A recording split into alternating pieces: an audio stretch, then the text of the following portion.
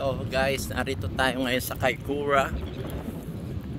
Uh, order sa lot of sea lions. Come here, baby.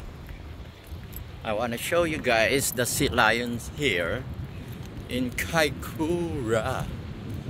See the beautiful place, mountains, sunny but windy but a little bit cold. So we will try to catch this one sea lion. Na siya guys oh. So bawal lumapit at baka tayo makurit. Yun ang dalawa pa oh. Kukunan natin to ng picture. See? Yan na siya oh. There you go. Hello, Sil. I'm Tom Cruise. Charot. See? Meron doon mag-ina siguro yon. Pero ito yung isa oh. Lupet. Okay. Pa oh, meron pa doon. Grabe lamig.